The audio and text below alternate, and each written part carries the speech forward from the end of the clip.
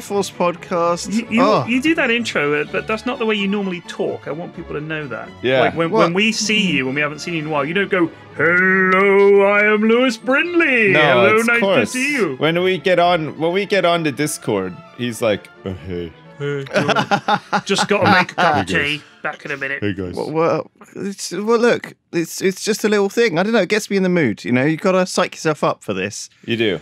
Uh, Yeah. you gotta gotta put your put your game face on, put your game hat on. do you do like um, when you're when you're talking and stuff? Do you do lots of arm and hand gestures? Like an Italian. No, You should I'm much pinch mm. your front finger, pinch your thumb and forefinger together, and wave your hands in front of your face when you really want to appeal to someone. Why? Molto bene. It's a pizza. It, I, I love that. When, when you go to Italy, they really do do but that. why? They really Oh, do yeah. do that. They do It's do part do of the language to to speak with. They really do do that. Yeah. it's part of the it's part of the the the, the vigor of that, that that passion. You know, you have to do it Passion, yeah. as well, or else you don't get the message across. Honestly, words are not enough. If you could uh, supplement them with hand gestures and like pictures Yeah. and you know graphs, great. I'm I'm down. I think we should all be more willing to do presentations. I think that what Hmm. I think that's what that Mr. Big song was about. Uh, more than words. The song More Than Words was talking about. More than that. words is all you have to say Yeah. to make me feel like this, way.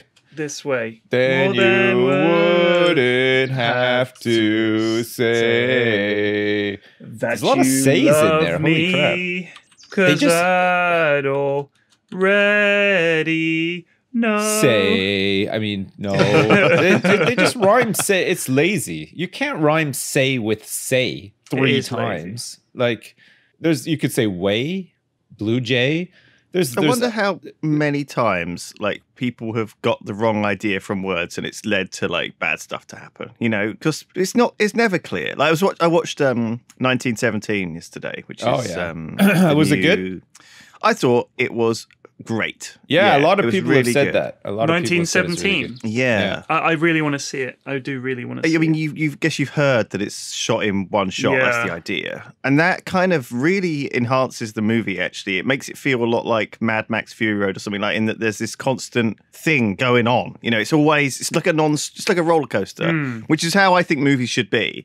I think movies should be this sort of thrill ride, which kind of all you movies don't you want to get think off. should you be a thrill ride roller coaster. Yeah. Not all. You should but- go but work in Hollywood, mate. That's what that's their Well, like, whole uh, bang at uh, the moment. A pure movie. Like Where does I that leave it- movies like Schindler's List? If like you're changing you Well, imagine I- the I- critics came out and Schindler's List? A roller coaster ride of a movie. non-stop wall never to wanna wall get up. action, shot in one shot. I think it's well. I, I, I just, I just feel very strongly that that it suits the medium well. I mean, you could do other stuff too, but I think that I just think it's great, really, really good. It's, it feels like a thing that feels like a pet project almost. for Someone like, oh, it's going to be quite hard work for us to shoot it in one shot, but, but almost like a gimmick. Though it could easily become like a gimmick. Well, but uh, did you see um, Children of Men? Um, Have you seen that? yeah, a while, long time So that, ago. that's a great movie, and it has a few sequences in it that are shot as if it's a single shot because they like it is. They they had to use very clever um, camera work. One of the things they had there's a scene where they're in a car in the woods and they're attacked from all sides, and the camera has to be able to come in and out of the car and pan around the outside of it, still looking in. And it's that like if you look at the behind the scenes, they built this massive framework to go on the outside of the car with all the the jib equipment on and everything, and then it's all green screened out and, and digitally removed. But it's it's incredible. I I've, I must say, it must be terrifying as an actor to think, oh god, please don't let me just fucking sneeze or or like trip over or fart or something and ruin Yeah. this entire shot. And the rehearsals, the practice, everything has to be just right when there are special effects involved. Because later in that same movie, there's a big extended single shot battle scene where there's like 100, 100 plus people involved and special effects going off and it's it's insane. It's amazing. It's a, but I, I wonder if like you said it almost takes you out of the film because you're marveling at this technological thing or if you just almost don't notice and you're swept along by it because it Yeah. feels so much more urgent and like you're really there i don't know which it is. I think you're right. Like there, there is this danger that stuff will pull you out of the movie. Like seeing, uh, like sometimes a famous actor can do that, like who you don't expect to be well there. like, like we, we spoke about this on a previous podcast Did we? about unexpected cameos taking you out of the moment. Yeah, because there was Benedict Cumberbatch is there as like an army officer, and he suddenly like turns around and he's and I'm like, oh fuck me. it's Oh, Benedict. I know. not, not Benedict again. Yeah, Sick but, of this uh, Actually, guy. honestly, really thought it was a great movie. I would, rec- would recommend it. Um, Right. yeah, it's been out for a while now, so I went to cinema with Alex, and it was literally just me. Alex. Oh, that's perfect because I want to. I want to go is- see it. I might see it uh, this weekend. I'll just go by myself and and go see it. And because I like going to the cinema like middle There's of the something day, very luxurious no one about. Yeah. being the only one in the cinema. Yeah, I don't know. There are a few films I've seen that way, and it always feels good. Yeah. Yeah. It's like having your own personal cinema. I feel like I feel like Steven Spielberg going out to like my backyard and just you know, watching it in my own fucking private That cinema. movie that we saw, the uh, The Shining Part Two, was like that. Remember, there's like one dude in the theater. And oh, then you're right. we What was went that like in the middle of the yeah. day. Doctor, Yeah, that was Doctor that was Feelgood or Dr. whatever. Sleep. That was Doctor fine. Sleep. Yeah, that's one. You know what? I saw the film um, The Perfect Storm in the Trocadero Center, and I was alone. Was that the one with uh, Marky Mark in it? it had Marky Mark in it, and it had George Clooney in it, and I Yeah, think it had right, John. C. Reilly in it. Oh, and they're right. fishermen, and they're stuck out at sea in this right, horrible. Perfect storm, which is a true story. It's a true story, although the film I used to work at uh, I used to work at Blockbuster Video when that came out on video. I remember we had like a wall of that stupid fucking uh, well, it was like a like DVD at the time Right. when it came out. Oh right. Hey, so so you weren't rewinding right, so them. you worked at Blockbuster. I'm very curious. Yeah. Did you ever get in a shitload of copies of something and no fucker wanted to see? it? Yeah, yeah, there was a whole bunch of movies like that. Where I, I can't think of like specific ones, but it, it did happen for sure. So you Blockbuster's you like get this like is a going to wall be of them. Yeah, and Yeah. It, and it'd be like uh, you, they thought like they were anticipating that you know these copies of these would just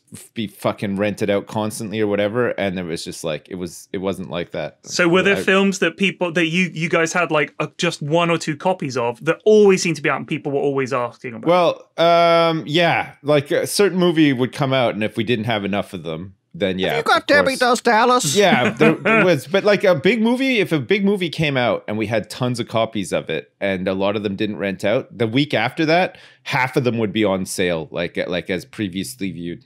Like it would like cut down like the rental wall sort Wow. of thing, and then yeah, yeah. put them on sale. Because I remember like rental VHSs, you used to have to, if you were a rental shop, you had to buy a rental VHS and it was like a hundred quid or something like that. And so it was quite an expensive like um thing. I guess it stopped the the shops from like just selling them, you know, Yeah, because because yeah. because stuff that was rental was before it was available to buy or That's before it right, was yeah. able to like be on TV. So they were more expensive and you could sort of you could only get them yeah, copies of them like that. And so they were kind of always a bit more valuable. But often you'd get these tapes like X rental, you'd be able to buy them yeah. after a while. I like And, when I um, started working at Blockbuster. they were still expensive, but shit quality. Yeah. by Yeah, that really point. bad. Do you know it mean? was still it was still like tons of VHS. Like when I started working at Blockbuster, maybe a year after I worked there, that's when DVDs started like getting bigger and got to the point where we were just getting DVDs in instead of VHS. But that didn't last for for very long because it fucking went bankrupt and closed Yeah. down like a couple of years later. But Because uh, at that point, that's when Netflix started. Because Netflix started as a mailing DVD service where you you subscribed and they would post you DVDs to watch, and when you'd finished, you sent them back, and only once you'd sent them back uh, would they send the, the next lot out. So you made a wish list of films like here are the twenty films I want to see. And they would send you some that they had, and Yeah. you so it was like it was it was cool because you got this poster. You're like, oh, what is it? What is it? Yes, and you you know you'd got that film you wanted to see. You'd watch it, and you'd quickly send it back to get the next thing on your list. It was great. Like it was really Do you remember? It was- it uh, was so You remember, hype. like, uh, did you ever have like Columbia House and all that kind of stuff? You know, where you'd buy like you could get like twelve CDs or tapes for free, but then you were in a year contract where you had to buy one like every month. You like you, No. you had to buy one every month. no. I know. I, I never mean, signed I, up I. I think the novelty wears off quick, but I think the psychology of that is actually really powerful. That the whole going to some physical place and putting your tape in the mailbox and then getting another one through the door and opening it up, like that whole process is so much, I don't know, different to the Netflix where we have everything available to us all the time. Yeah, yeah. But we don't want to watch any of it, and none of it's exciting. you know, is, isn't it? Isn't it bizarre? yeah, like you that- just become sort of spoiled for choice. It's kind of like um, I don't know if you guys like remember those. Um, they I, they were they were like illegal game cartridges you could get for like Nintendo, and I think they had them for Super Nintendo as well, where you'd like plug it in, uh, you you put it in, but it would have like I don't know, like a hundred games on it or whatever. But they were they weren't translated or anything. They were just like all Japanese or or whatever. But I remember like borrowing one off my friend, thinking, "Oh man, like a hundred games! I can't believe it." And then I I would play like maybe five of them for like two seconds and then just move move on. Like because you just become so spoiled for choice that you just don't even care anymore. It's just like it, yeah, there's it's, it's that not not even exciting like you said. It's, you're just like yeah whatever. 100 games But ah, also, if fuck. they're all crap, you're like, i'm like you that know, with my it's like- steam library now. I got all these games. I don't want to fucking play any of them. It's just like i've got Yeah, like 600 making an effort games in my steam so. library and I, I i could care less like half of them i haven't even I, played I honestly like for me for me it's been about like looking at top lists like top 10 lists of movies top 10 lists of like um top 10 lists of games but also like some other like top 10 lists of like books and things like this and and I've been sort of working my way down these lists and I've actually found a lot of of joy out of that like just sort of ticking off like okay there's these top five sci-fi books that I've never read, you know, and I've been going through them. and some of them are fucking super out of date. But uh, Bodega's still available, second edition nice big, big inspired, inspired. And actually, reading these sort of, I, it makes me realize how you obviously have read some of these. how much you ripped off to use in your own Um, book gives me a context. It's good. This very retro thing, VHS, is that I remember. One thing I remember is that they would sometimes get a little bit, you know, glitchy and blurry and sort of, you know, like that classic thing when a bit's coming up where there's either a bit of nudity, you get like audio warping and stuff Yeah. like that yeah where people have clearly paused it for a What about please or- be kind? Rewind the stickers. Yeah, You had to And- 'cause, and like that was the so- thing when you had to return when it was time to return your VHS tape back to the video store.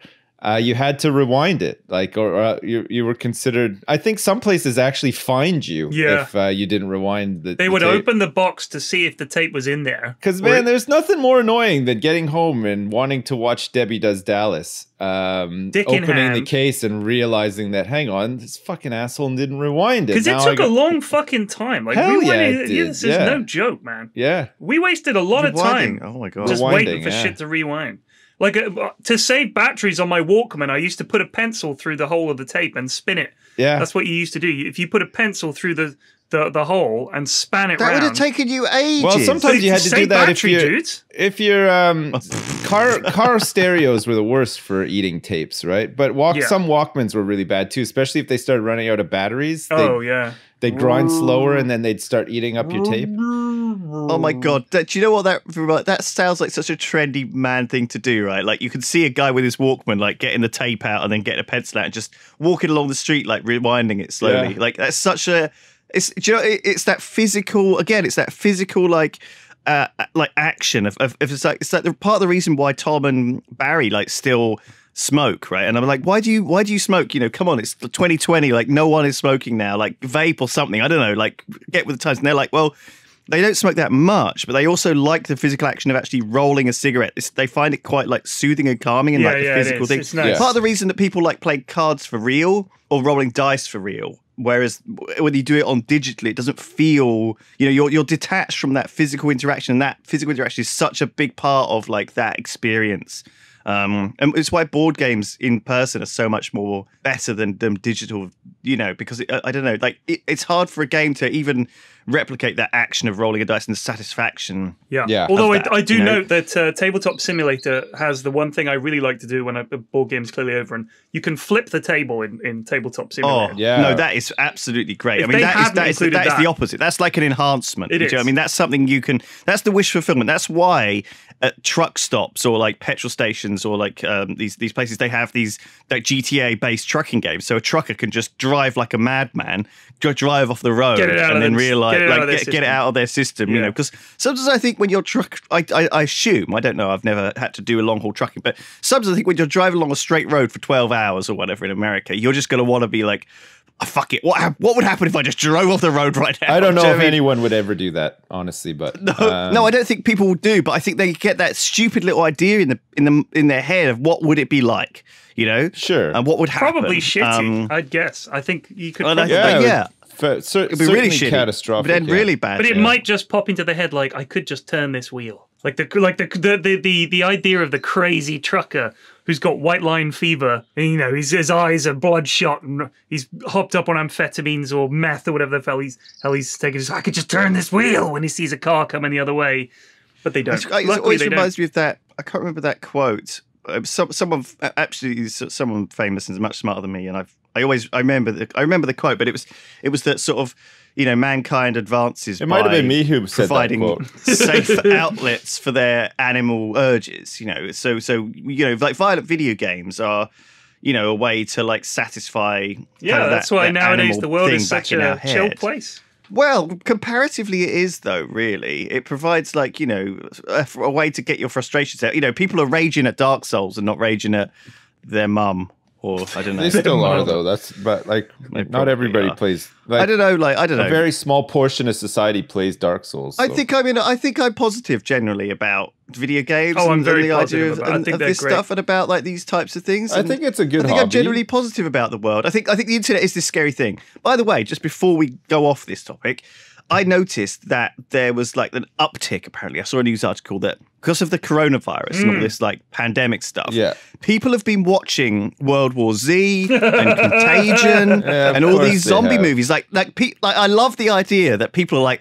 Oh, the coronavirus isn't that exciting. Let's let's, Let's watch, watch some World zombie movies. Oh, you know what? I wonder if it's necessarily. I don't know if it's necessarily that they're watching them, or maybe Netflix is promoting them because they're thinking this is what people want to see. They're all scared of uh, viruses. We'll get some more plays out of these. No, but I love it. I, I do you know what? Like part of, I mean, I'm terrified about you know this stuff as much as anyone is, and it's very serious. And Are you should you? be careful. Blah blah blah. But I do think it's like a little bit of a tingle of like excitement that like people are, you know, there's zombie vi- viruses out there. You know, I, I can see why people are. Man, there's a fucking billion viruses out there. Like, it- I mean, Oh, you're right. it's yeah, it's absolutely. not it, it's not it's not scary, is it? Like, like, uh, like a couple of hundred people have died, yeah, but you got to remember too that like this this originated in a place with like terrible fucking hygiene terrible fucking standards to do with like the preparation of animals uh, for consumption and everything.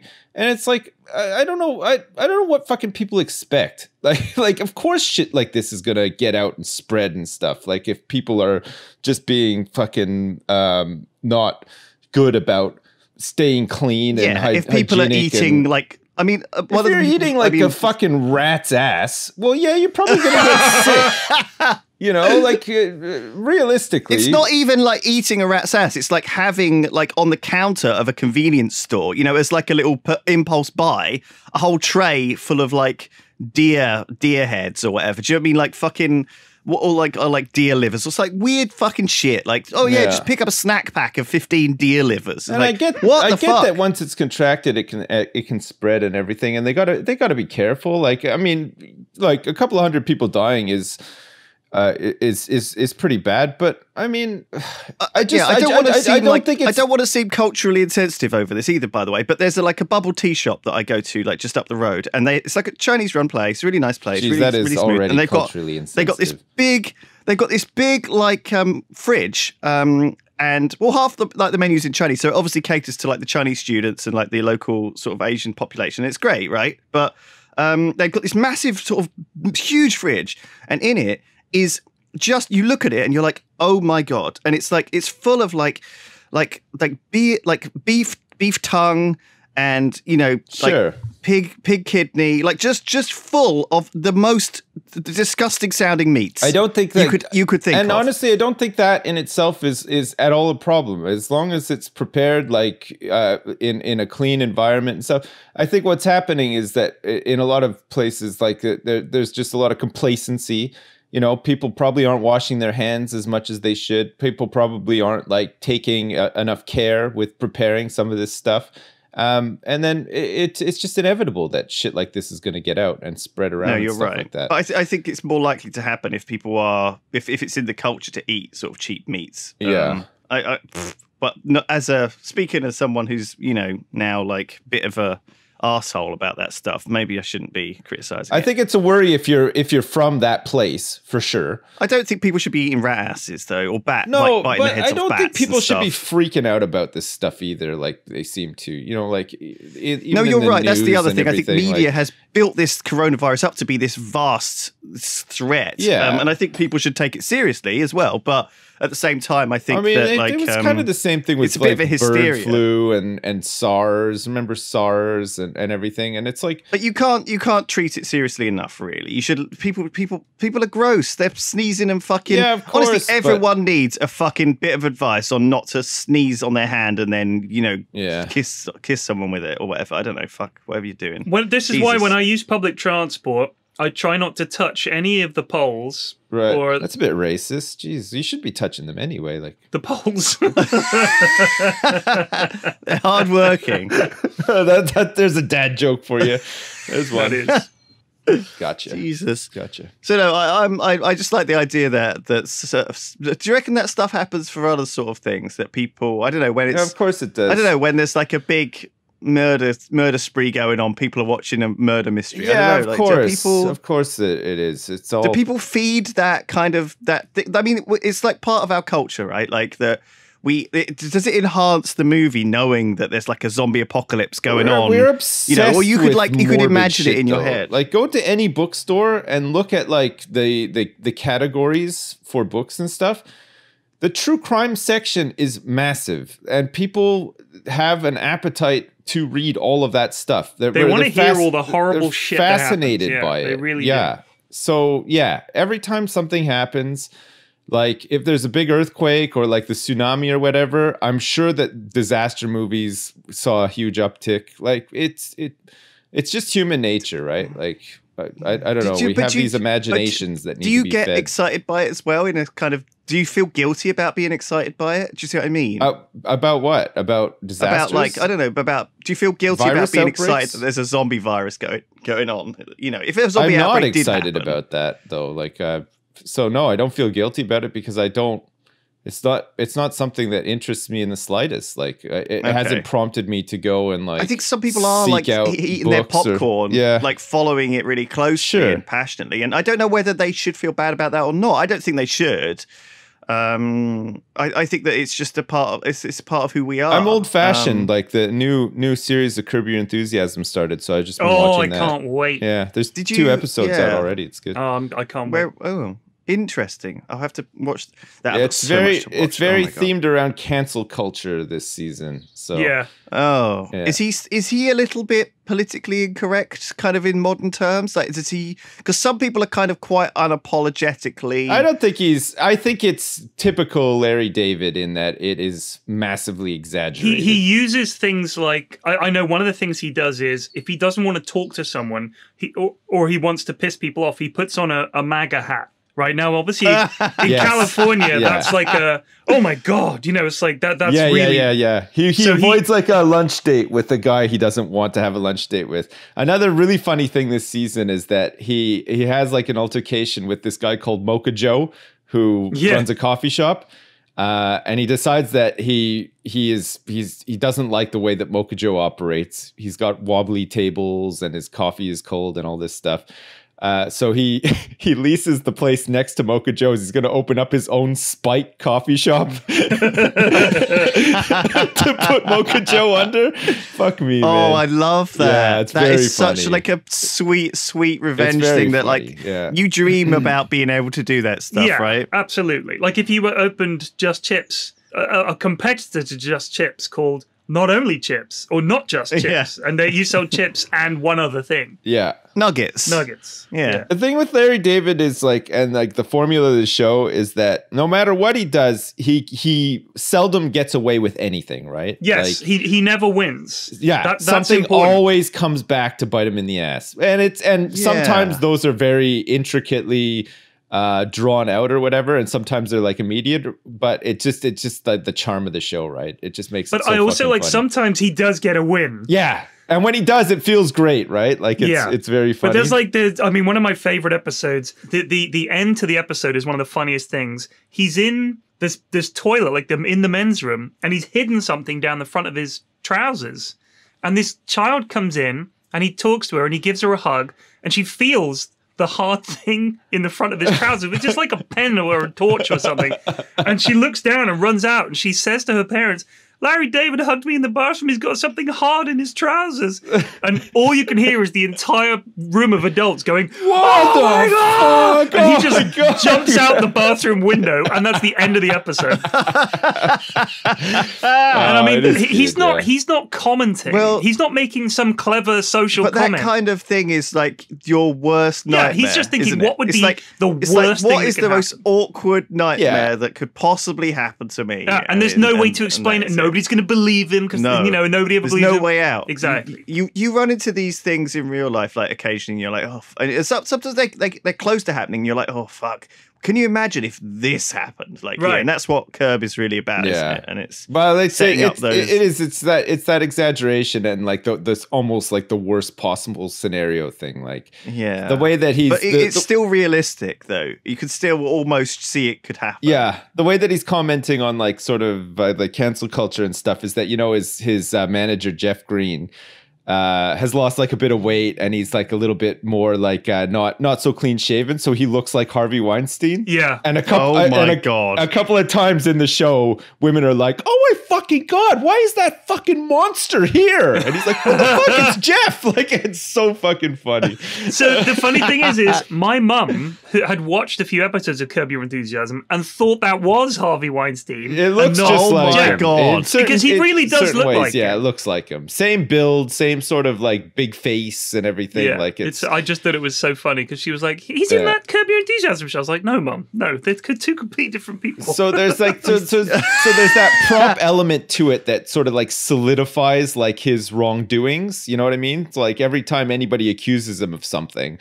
He's like, no, no, come on, it was innocent, it was innocent. And then they see him with Jeff, and then they're like, oh, fuck, no, it wasn't. Like, you're, you know, you're an asshole. You hang out with Harvey Weinstein. Um, but like, the, it, it's just like, it's just funny stuff, right? Like, he goes on a date with this woman, and like, he has he he videoed like he he gets his phone and records his advances. So he's like very very like like Oh procedurally God, asking great. her if it's okay for him to put his hand on her shoulder and then can he like kiss her and stuff. And she's like agreeing to it. And then he's like basically like can I fondle your breast? And she's like no. And he's like, all right, it's a no. And I'm fine with that. it's like all captured on tape. It's fucking so funny.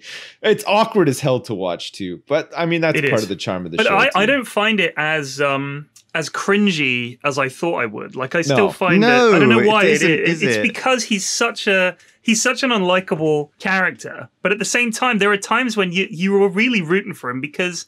Some of the people he comes across are so fucking unreasonable and obnoxious. Like Yeah. everybody is. He is. Half the people he bumps into are. They're all very unpleasant apart from like a few people. But yeah, they, they all jump to conclusions. They're very judgmental. You know, it's like some of the stuff he's like, this is perfectly reasonable.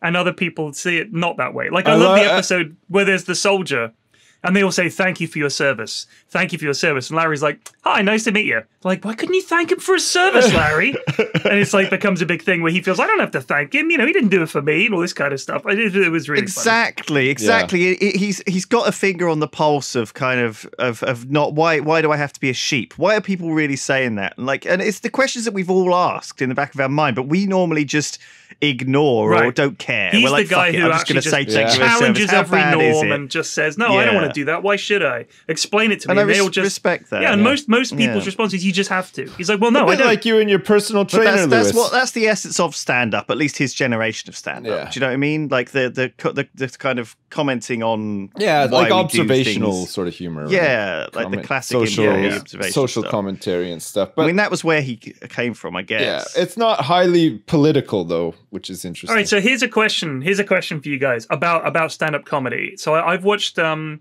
quite a few episodes of comedians in cars getting coffee, the the Jerry Seinfeld. oh thing. yeah, Yeah. Uh, sure. which I, I really like. I'm a big fan of stand-up comedy, and I all, like a lot of the comedians, and he gets writers on and stuff like that, and actors that Uh-huh. are all funny. Some of them are not so good. Like I don't know why he got Seth Rogen on. The, uh, you know, I- dude the to the say. only thing that puts me off about that show is that those some of those guys just like uh, rate themselves way too highly. You know what I mean? I get it. I get it. If you're like a you know Jerry Seinfeld level comedian, like you know one of the most successful all time or whatever, but.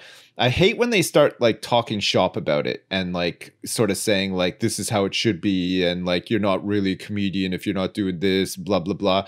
And it's just like, all right, you know, like, yeah. Uh, so that, that, was my my exact point was that one of the conversations that they had was that being being a stand-up comedian is the hardest job in the world. That was what they said. Now, I, I that I, that immediately made me think, "Fuck off! There are much Yeah, harder jobs." yeah. But but Have you con- seen that Consider this: thing how many really pipe? successful? yes, yes. How many su- really successful stand-up comedians are there?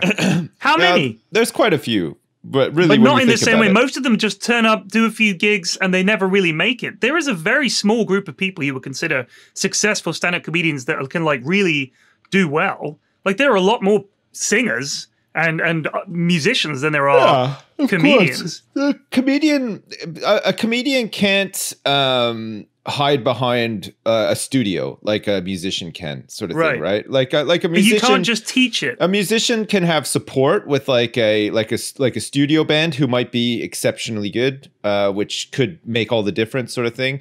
A musician can hide behind studio technology as well, like voice changing, effects, like all that kind of stuff. Um, you can have a like, I mean, uh, like they've proven time and time again with like X Factor and Pop Idol and American Idol and stuff like that that they can just manufacture these people out of Yeah. nothing, um, and and and make them successful. But a comedian has to be not only funny but like like personality likable they have to be intelligent like fairly witty and stuff like that you know there's there's there's a lot of like masteries involved that But you but also you, you couldn't yeah, just go right. to school and learn how to be funny. No. Like if you think about it, there are far more doctors. There are probably more. There are definitely more surgeons, brain surgeons in the world than successful comedians. Like you can, if you're smart, you can learn how to be a, a brain surgeon. you you can- can, learn how to be a I doctor. mean, I I'm not think you saying it's could- not incredible. I think you can train to be a comedian as well. I don't think you can. I, I, don't. I don't I, think. but you I think you you'd only I- do it if mm. you had some sort of natural base of talent to begin with, because right. I That's all it. do I, I train, think I think you have to start very young. Yeah, like these a lot of these famous comedians have been were funny. They're funny kid at Yeah. school. I don't know. Do you know what I mean? And they've they've always like been trying to make people laugh for their whole life. And and often like i can see where they're coming from like with the, the hardest job in the world. Because i think that certain personality types are not going to sit well with the the career of doing the same material every night to a crowd who are who are, going to boo you or, or not laugh at some of your jokes. And and crafting that thing and working and trying to make funny jokes it's, it's, it's tough to be creative and come up with material and, and do, do it to a standard that is like enough to make a living off of. And the risk and the so a little bit like being a being in any art form like being in a band or something or being in some something where you have to or doing arts that you have to then sell. I don't know. It's like that's not for everyone. It's not a safe career, is it? Being a comedian, there's No. no stuff to fall back on. But on. a I lot of that- them, they they're like, I had to work for like, I mean, C- Louis C.K. is a good example. The dude wasn't young when he made it to the big time. He'd had years and years and years as a stand-up comic, working all kinds of shit, and then he suddenly became really popular, and then it all obviously fell apart. But the point is, he he wasn't like a young guy when he made it. No. some guys like Eddie Murphy was successful from a very young age. Yeah, he was, Like yeah. he he was one of the youngest successful comedians around and was a huge Hollywood star. But a lot of them, you know, it comes it comes later in in life he had uh, when um, they've they've honed the skills. Yeah, and I think um, I think I th- I think like in Eddie Murphy's case, and maybe in uh, other comedians' cases as well, is that if they're lucky enough to start from a young age and work clubs where more established people are working, they'll almost take them under their wing and like sort of you know what I mean. Like with Eddie Murphy, I mean, there are there are absolutely skills to learn. you learn. had like and, uh, and- you know Richard Pryor like had a lot to do with Eddie Murphy, and Eddie Yes. Murphy used to say that he thought that Richard Pryor just didn't like him because it was kind of like the, the a sign that Richard Pryor was like almost done, sort of thing. It's like, oh, here's this Yeah, new yeah. g- new new black comedian who is basically Yeah. going to replace you, Richard, and he was like, oh, okay, cool, but like secretly like ah fuck this guy like you know i'm not ready to like give up my crown sort of I thing I think it's very hard for people to do that to come to terms with you know decline course, yeah. of their of their of their industry or or you know when you're on top it's it's everyone you know being the big thing and then not being the big thing and and someone's always going to be climbing and someone's always going to be rise uh, falling and it's I don't know like people people aren't it's not part of our culture or education to to learn to deal with this stuff or even like know where to start. Yeah. You know, or people don't even think they have to. And so people have to come to terms with it themselves often or or and some people have like support of their family and stuff and, and, and other priorities. You know, like there's there's good examples in Hollywood of people at the top of their career dropping out to be with their family or something like that, you know, for sometimes 10 or 20 years, or even dropping off the face of Hollywood entirely. And other people just never stop. Yeah. You know, even to, into their like 80s Nicolas and 90s, Cage, they're yeah. always doing stuff. Like Christopher Lee or someone like Nicolas this, you know. who Cage. was- He's never gonna fucking stop, is he? Jesus. No, he's not. But I mean, the the dude's standards are, are so low. Yeah. like Yeah.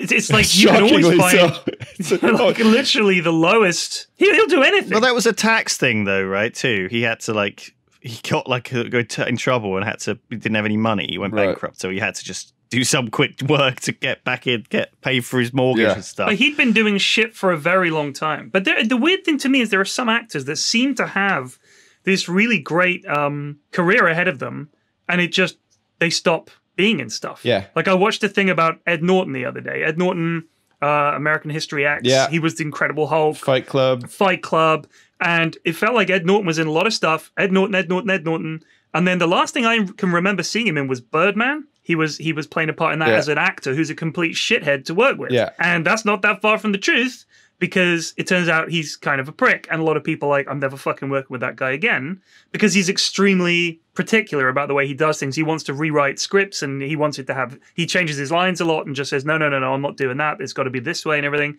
And that's it. Like people just won't work with him.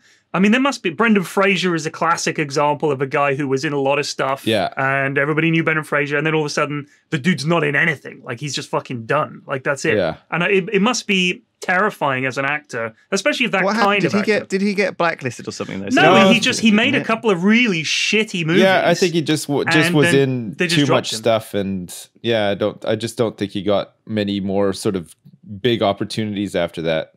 The thing is, It's just he, the way he it goes. I think any any actor that pitches themselves as the lead, whether it be a leading man or a leading leading lady in a in a film, if you can't pull off lead anymore, and you're not a box office draw, you're done. Yeah, Like it's a real gamble.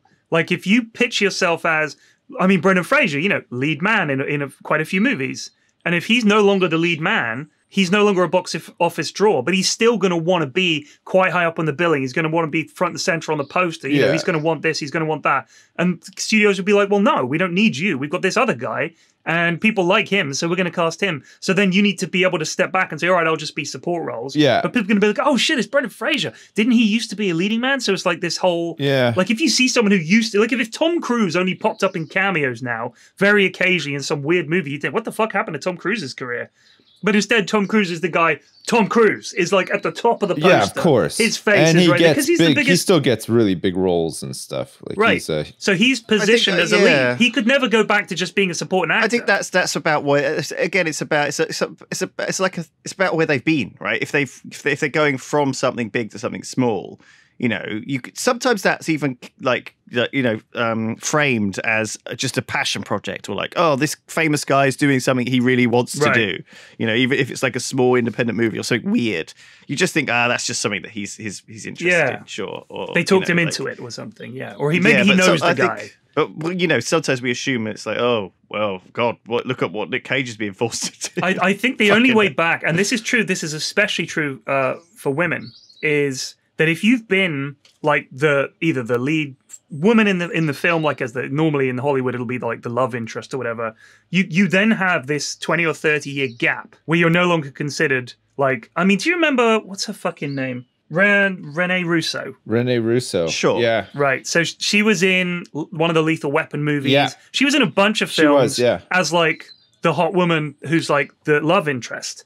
And then she's just kind of not in stuff for a while because she's not old enough to play the older maternal wise woman, but she's not young enough to be love interest. Yeah, that's a thing. Would- that's would- a thing with women, right? They, it's like it, it, it's harder for women, I think, in Hollywood because of the types of roles that they play and stuff. You know, like they, yeah, you do hear this they a lot. they're either they're Yeah. either young and like hot, and all the magazines want to do like bits on them and, and blah blah blah blah blah, or they're like um Judi Dench. You know what I mean? Like Right. uh, But Exactly. there's no That- in between. There's no there's no roles in between that where they can like really sort of um you know make a make a a, gi- a gigantic like uh, mark for themselves. Not once they've gone down that down that route Yeah. of being the the eye candy. Yeah. Because if you look at someone like Meryl Streep, say Meryl Streep's career has been pretty fucking good the whole way. yeah Because she's she's an actor first and foremost. She's not. She's she's she. There may be romance in the film, but it's not like she's on there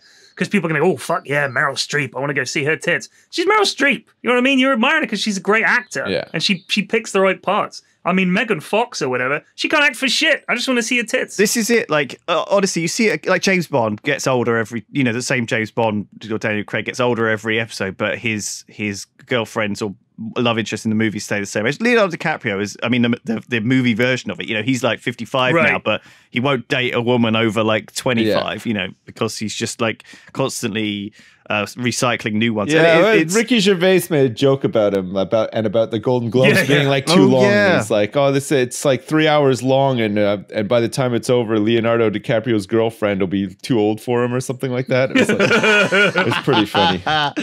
that kind of stuff is, is really true. Like you know, you see it in Hollywood remakes where they get the same actors back, but obviously, but in, in many cases, it's like you know, I don't know Harrison Ford coming back, but you know, his his his love interest of the original movie is now like sixty years old, and it's like, well, we can't can't have him kissing her. We got to find someone uh, you know a bit younger. It's not like, for example, Daniel Craig's not kissing you know Judi Dench, is he? I reckon they should like fucking. would be great. I reckon they should do that though. I reckon they should just put turn it on its head. I don't think they You know, should do I'd watch that. I wouldn't watch that. Let's just let's just have some realistic relationships in these things. I don't even really know. want to watch Daniel Craig kissing somebody young either, though. Like, uh, I just don't really want to watch Daniel Craig. Full stop. Like, I don't care But what the problem is Hollywood has this sort of responsibility to set the tone, right? And often, like, it doesn't do a good job on this thing. If if it if it, if it normalizes kind of old guys kissing young women, that's how we get Donald Trump being normalized, Yeah. kind of thing, with his like you know young wife kind of thing. Like it's kind of a bit.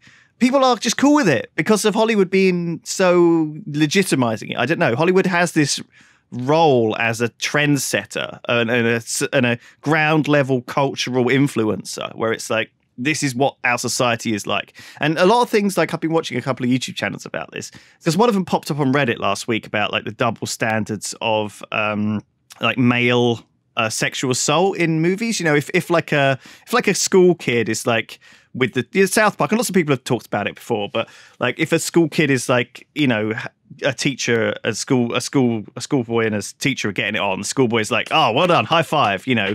Whereas, like, if it's a schoolgirl a teacher, it's like completely, you know, demonized and terrible. You know, there's there's this double standard there, and, and Hollywood kind of has helped perpetrate that to some extent. Um, we don't necessarily see um, men being taken advantage of by women. You know, it's almost like the men always want it, or you know that that somehow it's good, and they're like, oh, you should be happy to get this. You know, um, and and obviously in many cases, you know, that's it's not a good thing. You know, it's not cool. Um, and, and then people were not, you know, if you're not kind of consenting to this stuff, you know, it can be very dangerous. But but Hollywood has has had like a history of making you know, it's certainly prison rape is a good example as well. Like we, it's like so prevalent in Hollywood that we. I mean, I always, I mean, I, and it, part of it is that you know, don't go to prison or else you get you'll get raped by a man. It's like, whoa, okay, I I never want to go to prison because I don't want to get raped by a man. But it's almost understood that that's like a ground level. Like if you're going to go to prison, you're going to get raped by a man. And so maybe in prison, the prison officers are like, yeah, do you know what? There's a bit of man raping going on. It's all kind of cool. We allow it. Like because of Hollywood. Like I don't know. It's it's uh, do, you- do you see what I'm saying Yeah, though? yeah. Like the whole I- I don't. the whole undertone. I, I, I kind of follow your point. yeah, no, I don't. but like but but but like the, the videos like even like dropping the soap and stuff has become this thing which is even in kids movies like like there's like toy story and like spongebob are making jokes Wait, wait, about wait. There's a dropping the soap. there's soap a drop the What? soap joke in Toy Story. yeah there's they're everywhere they're like absolutely so prevalent like yeah, but they're that- in all they're- that's because in kids TV and and kids cinema and stuff, the the the good studios make movies that uh, not only appeal That to children, rape jokes in. but they have very subtle adult humor in them as well. yeah so that yeah. That, that's true, but I just find it weird that that's in there. It is, but a kid would never be able to to to know what it is. that's true. You know, until they're old That's- enough. But I will say this about the whole the whole drop the soap thing is the idea that just dropping the soap like that's it. Like you drop the soap, you bend over and pick it up. Pow! That's it. They're raping you. Like, Well, as if exactly. they, they have to wait for you to drop the soap before they're like, well, if he drops that soap, I'm going in. Otherwise, Yeah. you know, it'll be too Wait, wait. Larry, Larry, back off. He dropped a comb. That's not soap. It's a comb. It's not soap. It's not soap. it is a Larry David thing, which which makes you just pause for a second to be like, was that a prison rape joke? Like that I just watched. Like, is that actually cool? Is that actually still? Should I be laughing? You know, I mean, it's a little bit like you're, you're a sheep, though. You're just laughing along. You're just, you know, sh- you know, saying to the soldier, "Thank you for your service again." You know, is is it something which we should be kind of more aware of? It's now? like a it's like a it's like an in joke sort of thing, right? Like cuz because you you grew up in a time where like that joke was made or it was popularized and 20 years later the joke is made again in some new way or some subtle way or whatever you're like, "Oh yeah, that's familiar to me. Haha, I'm laughing." sort of thing. It doesn't actually make it funny, but it's just it's just it's just what it is, right? Like what so what's this what are these people saying that we shouldn't laugh at that or like you should, we should feel bad for laughing at that or well, no, that I think we question should just ourselves be more or something? I think you should just be more sensitive to what you're joking about. Like, I think that if you continue to perpetrate a stereotype that is, you know, that if you go to prison as a man, you're going to be raped. Um, like, it, it's it's a dangerous thing because it has this massive, broad effect um, on society that you are trivializing male, you know, abuse, and you are um, laughing at men who are more feminine or more, more, uh, uh, you know, for being inferior. Oh, or- did, did, it's- did it's a- you did you get recommended the same video I did that pointed out that uh, there are an awful lot of instances in Hollywood movies where women uh, sexually assault men, and it's seen as like a kind of a jokey thing. yes, that's the one I'm talking. So I watched yeah. that, and there was a scene in there. I think it was Mindy. Is her name Mindy Kaling? She was in the office. She was Kelly in the office, the annoying secretary. She's the writer as well. I think. Yeah, she she, she it. she's one of the writers for sure. So there's a scene. I think James Franco was passed out, and she kisses him while while he's passed out, and he wakes up. He's like, "Oh, help!" And she's like, "Sure, shut up. It didn't happen." All this kind of stuff. And the interesting thing is, if those roles were reversed, we would be like, "This is entirely inappropriate." I mean, if the if the male hero of a movie was sexually assaulting uh, the female lead in the movie, it would be seen as like, "Holy shit! What the fuck? How did this get made?" But it does happen a lot. There is a scene in Horrible Bosses where Jennifer Aniston rapes one of her employees, and it's played for for laughs, like it's a comedy. So it is it is weird, like you said, how it's seen as uh, something to joke about, and I, I just think a lot of the time these movies are not written by younger people; they're written by older people. And you see the same jokes popping up and the same references popping up. And it's just, I mean, I'll give you an example. I was watching The Simpsons with my kids. And if you look at the first few series of that, that was made in the 90s, bear that in mind, like mid 90s, these episodes were coming out. There were references to like things that happened 20, 30 years ago. yeah, of thinking- course. yeah, like the yeah, but I, I'm the thinking the- these writers are older guys. Yeah, they are. Who, who is getting these references? Like these aren't written really for the audience. They're like. So I think the same thing happens in Hollywood. That by the time you get established, by the time you're like the lead writer on a big movie and everything, or a big TV show or whatever, But you're older. again, this- so your references are going to be older, and your attitudes are going to The be older. Simpsons was designed for primetime TV, and I remember when it came out, it was everybody wanted to watch it, like kid, Oh, yeah. like kids especially. But it, it, it had ad, lots of adult humor in it that kids just Yeah. didn't understand the references or whatever, but they still loved it. Like it's one of those.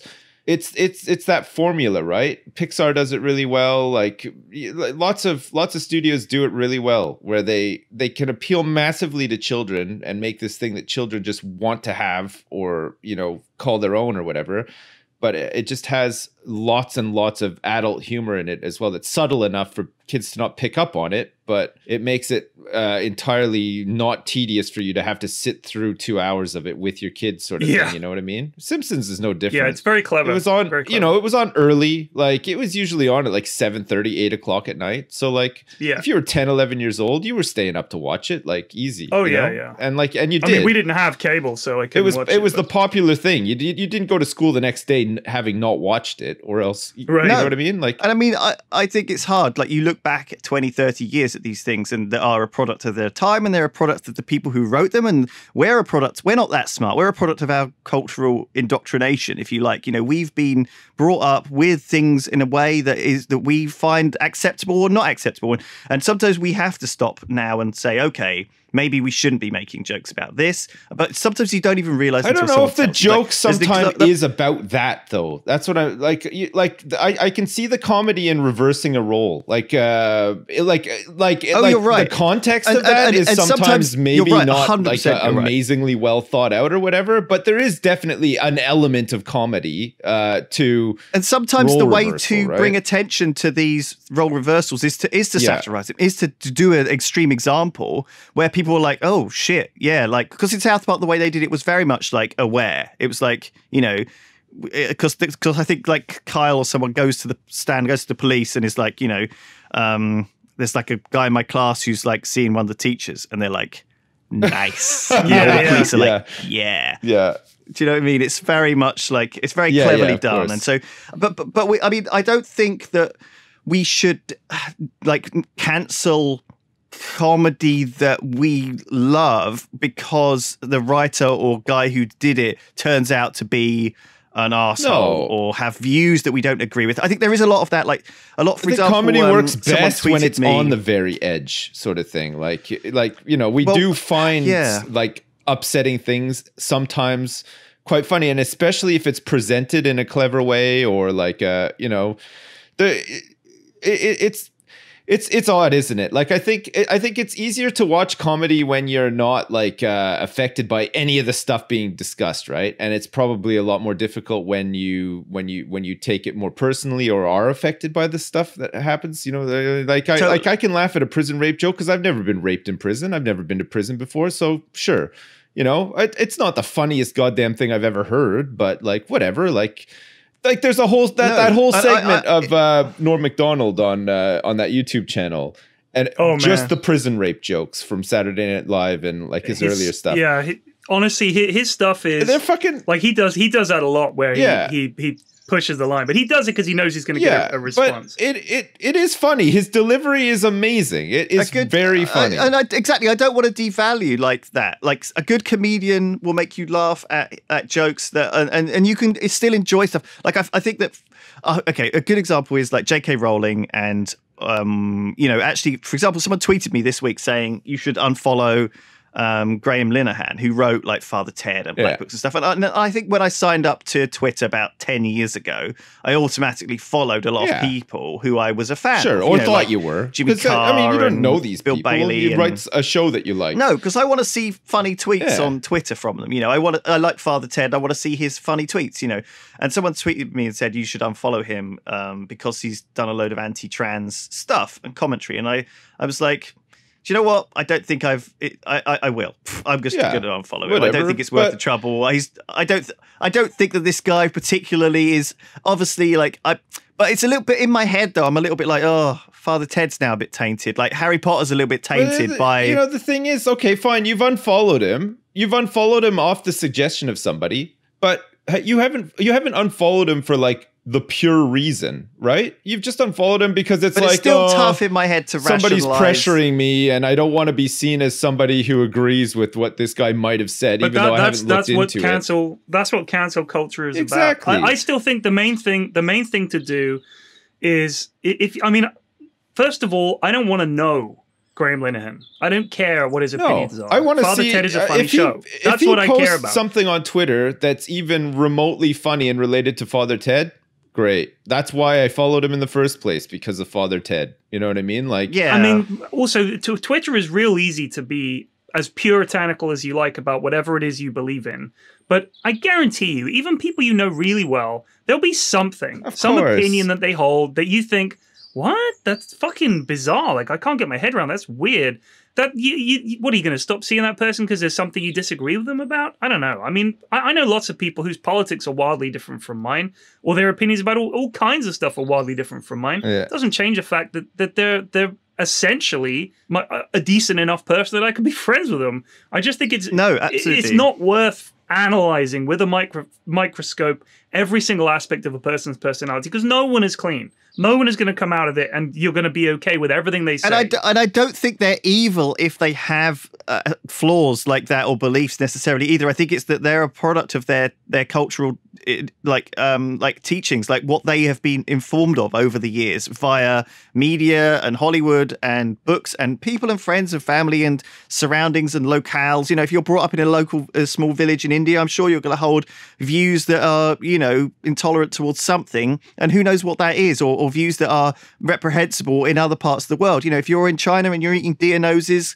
fucking go for it. Like you know, I, I, that's part of your culture, and I think it's very hard of me to criticize that because you know that's something which they are not going to change their view on very easily. And and you know, I was I didn't even I don't even think about a lot of my biases, you know, until I watch a video on YouTube that that tells me maybe you should question this thing. Like there's so being a scientist is about questioning. It's about constantly uh, uh, analyzing everything you believe. Yeah. But there's so many aspects of things we believe, from religion to politics to people to, and there's so many like gray areas too, so many gray lines that come down. Like, and each case is different. You know, every you could say oh, you know, that this is good for society because maybe prison rape fucking, you know, discourages people from committing crimes. Maybe the people are so scared of being raped in prison that they yeah. won't do crimes. Like, you know, you know, everything has like this other fucking side to it that, you know, you can't I, am a, I'm a bit of a contrarian. I love to try and argue and see the opposite side, and it's so hard to do that sometimes. And sometimes I feel like I've been taken, I've been blindsided, and I've learned something. I'm like,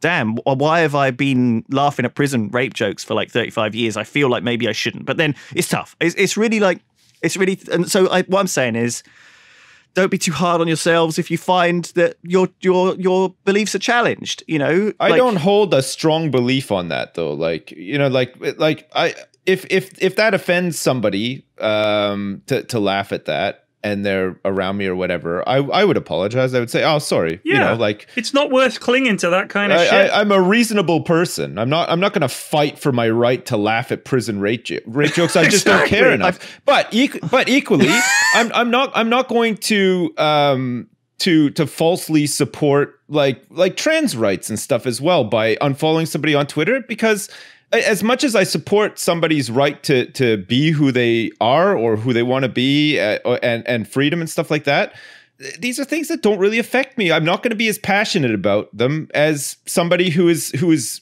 affected by it, you know, or or living that life or whatever. You know what I mean? I I think there's Absolutely. I think there's a lot of uh like almost like false support um for movements nowadays just to appear sort of like politically correct or or or popular or something like that. And I, I don't agree with that either. I, I, you know I think people that are coming out and and being like overly sort of supportive about something that they have nothing to do with or whatever is is is is not it's not a genuine thing. It's it's it's lying. You see that in you see that in Hollywood a yeah, of course well, you do. Where they'll, they, they cast something and it's like the cast is like you can tell they've they've fucking they brainstormed the shit out of how to get the perfect cast for essentially for to avoid bad reviews on, on Twitter and in the media. Sure, it, it feels disingenuous. Yeah, it, that's it, you know it's not from the heart. No, you know they, they haven't changed. They're just going with the trends. It the is. Times. It's a it's it's some sort of formula for like popularity or for money or sales or something like that and it, it doesn't feel nice. It doesn't feel good like uh, like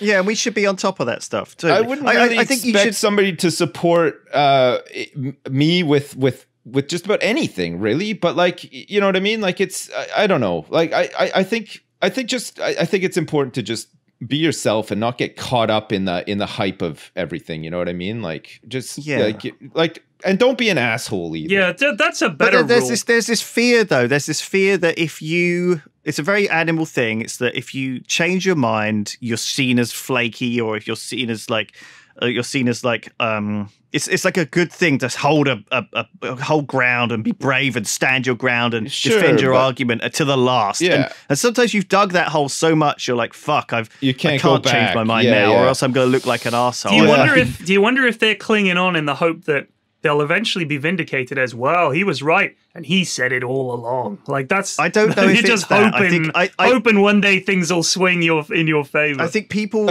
uh, people seem to value and, and that it's that confidence. It's that that kind of that that that authority of someone who is just blindly confident. For some reason, people value that, and It is weird. And people are scared to change their minds or be seen to be changing Man, their you know what? And, and, and no, but that's the opposite. You should be willing to constantly b- bounce back and forth Yeah. on on. on I feel like this things. podcast would be way better if I could actually articulate my thoughts like in an intelligent manner and not just like being a dope. And this is what I, this is the, what I said at the very start of the podcast is that words are not enough. Like we we I think we need we need graphs. That's we need this week's, pictures. That's this week's theme. Is the song "More we need Than like Words" prepared by Extreme. Speeches that are finely honed and crafted to not not not because but a lot of the time people will get the wrong end of the stick from this podcast they're going to think lewis said this sentence and people are going to take it out of context and it'll and it'll mean something which is the opposite of what i meant it to yeah, mean I know. I, I think it's a very complex topic I, I I I I do my best. I, I'm I, I think I'm a reasonable person. I don't think I'm overly offensive to any one person or group of people.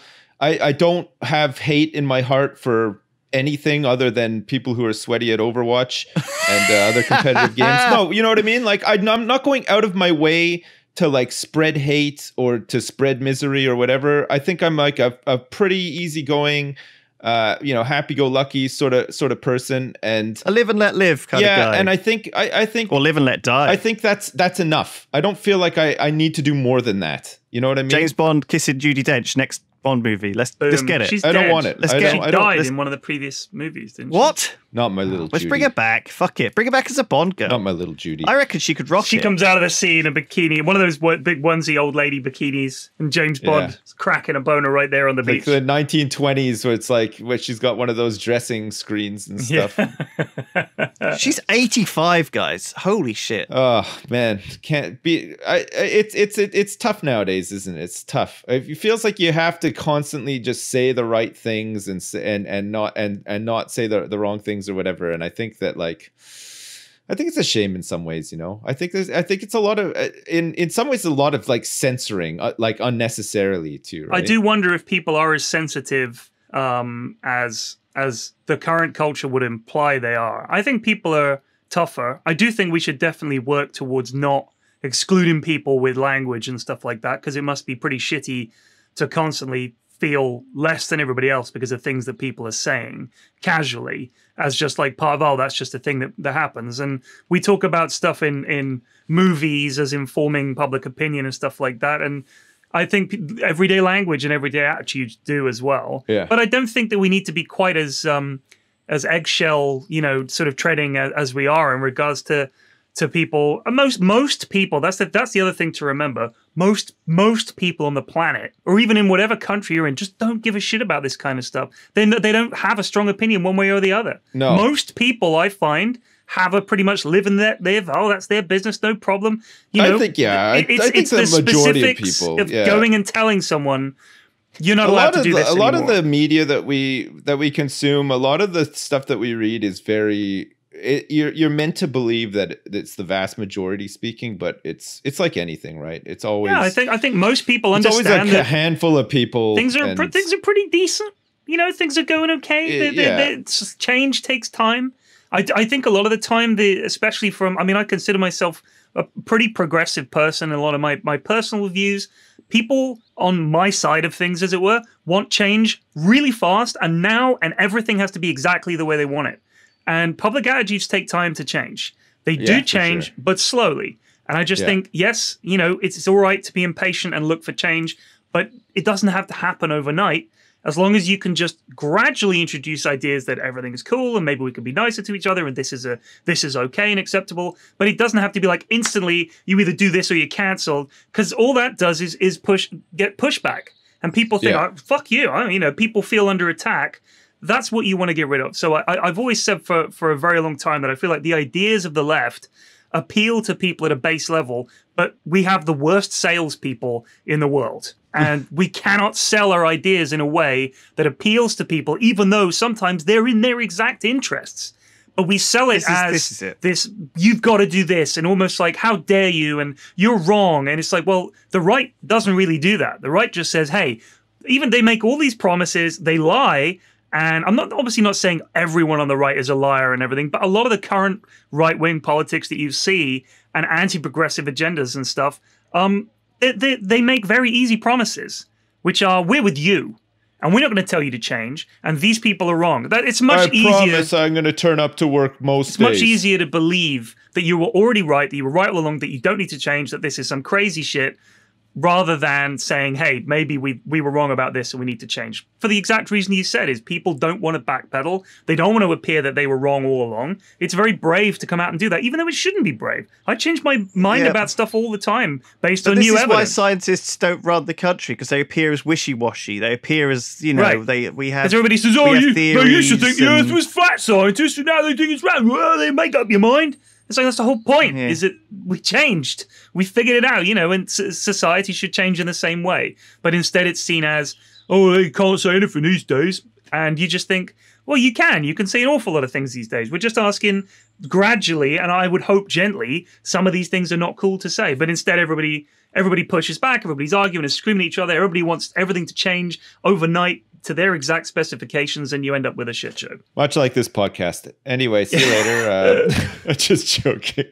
That was a good one. Uh, man, we ranted a lot today. It was very ranty. It was. That was a ranty, thoughtful. had a lot to get off our episode. chests. I feel you know. I don't Yeah, know. I just yeah, I've been thinking about this stuff, and it's nice to talk to you guys Every about once in a it. while, you have to have a big blowout, don't you? you just gotta bear in a- mind that this was just a conversation between three people. I, I'm sure Yeah. if we listened Three on, on old Right. idiots who've watched a YouTube video. But if we listened on, on on all of your conversations, I bet you say some dumb shit too. This is just an unedited splurge of thoughts and ideas and conversation, and just take it as that. Don't think of it as some kind of manifesto. yeah, Yeah. change the world. Vote for me. Raise up. Bye. See you. Um, see you See you guys. 2020. See you guys next week.